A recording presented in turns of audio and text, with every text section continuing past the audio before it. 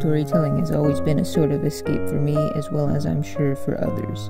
There's something attractive about creating your own reality, one with its own rules and boundaries, its own characters and lives inside it. It's been a common reason why I start blanking out. Find myself daydreaming a lot in my classes. I have ever since things have begun to ramp up and certain areas of life have become more tense.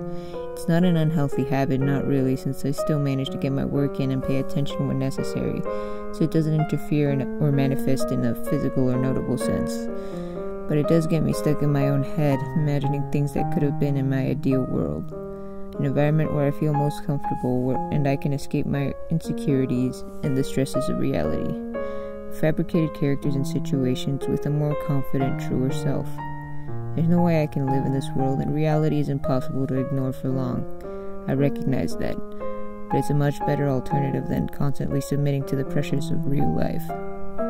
In the fictional works I create, I put some of the sentiment into the project, which is why I'm so passionate about hobbies like drawing, animation, and writing, sometimes even music. Music can transport you, especially if there is a strong connection. Songs tell stories as well. I'm a creative person because creating is what I love to do. Accepting things as they are is important, but so is expressing oneself. I don't talk much to people and I communicate my feelings through different and artistic mediums. As long as I feel I'm delivering the message intended, that's enough for me.